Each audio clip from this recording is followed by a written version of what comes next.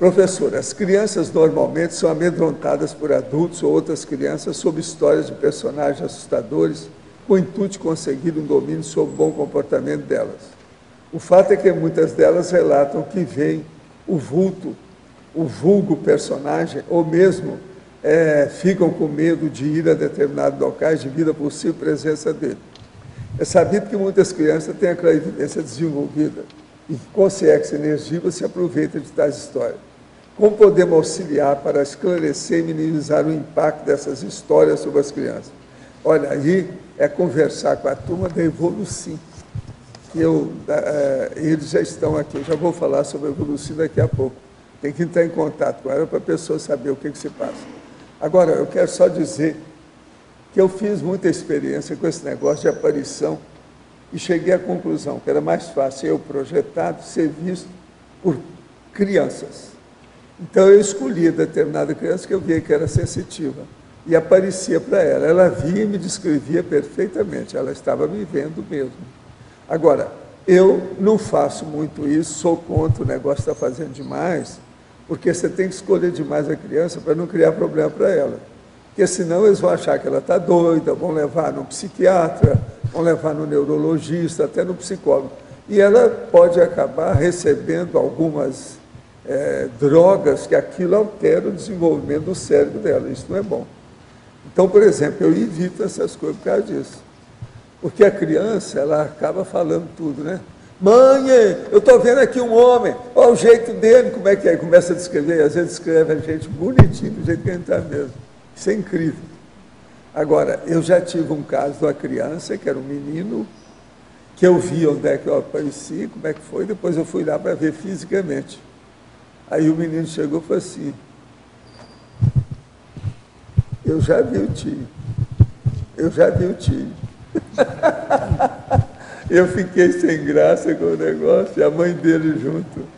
Eu já vi o tio, eu já vi o tio. Terrível. Agora, gente, ao professor Valdo, Centro de Autoestudo da Conscienciologia, CAEC Foz do Iguaçu, prezado, prezado professor. Cumpre-se informar que na data de ontem, 18 de agosto, a Evolucinha, através de seus quatro voluntários, é, radicados em Foz do Iguaçu, realizou reunião na sua sala localizada no discernimento.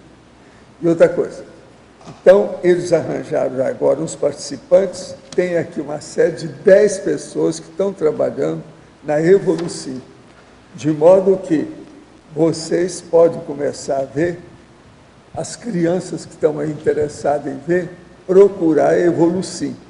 Tem uma sala no discernimento. É só vocês entrar em contato. Agora, ó, a Ide, a Reinalda, a Lourdes, que está aqui, ali, ó, de Portugal, aquela que fala a patologia, ela. Outra coisa, a Jaqueline Assis, Flávia Tavares, o Tiago Ribeiro da Silva, o Rinaldo Michirina, é, Rina. Então, ó, todos esses trabalham aqui, dentro da evolução. De modo que quem tiver criança que queira ter contato, é procurar essa turma, que eles estão aí para dar uma aula para tudo. Agora, ó, eu estou aqui com a higiene consciencial. É a terceira turma em Foz, conquistando a homeostase no micro-universo consciencial.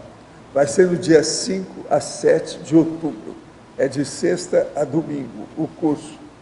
O curso é, é muito importante esse aqui, e ele vai ser por aí. Onde é que é? Eu não sei onde é que é. Parece que é no. Né? É local auditório do CAEC. É aqui mesmo, lá no auditório. De modo que vocês ficam sabendo, isso aqui vale a pena, essa higiene consciencial. Valdo, Vamos ver quem é que vai participar. Você quer falar alguma só coisa? Só para complementar, é, essa turma agora já são três dias. A gente começa na sexta-feira à tarde.